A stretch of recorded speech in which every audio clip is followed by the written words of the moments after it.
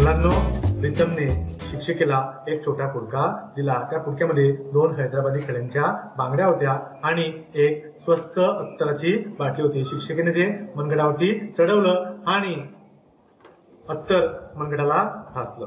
आणि शिक्षिका त्याच्या सुगंध येऊ लागल्या. वा किती छान आहे.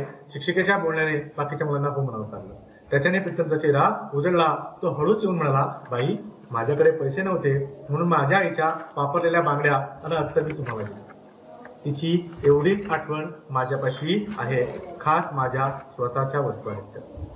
शिक्षिकेने चटकन त्याच्या केसावरून हात फिरवत म्हटले प्रीतम तुझी भेट त्या मागच्या भावना मला कळल्या. मला आवडली तुझी भेट. दुसरे कोणी असले हसले तरी वाईट वाढून देऊ नको.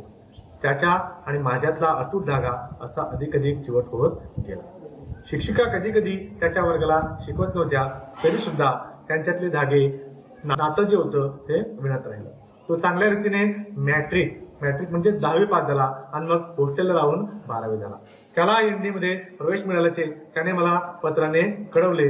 दरवर्षी म्हणजे त्याला बारावी नंतर N D A National Defence Academy राष्ट्रीय संरक्षण प्रबोधिनीमध्ये प्रवेश मिळाल्याचे त्याने शिक्षिकेला कळवलं कळवले.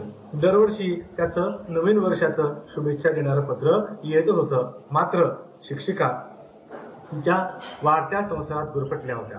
प्रत्येक वर्षी शिक्षिका त्याला उत्तर पाठविणंच असं नव्हतं पण प्रीतम अगदी काटेकोरपणे त्याचं कार्य करीत होतं.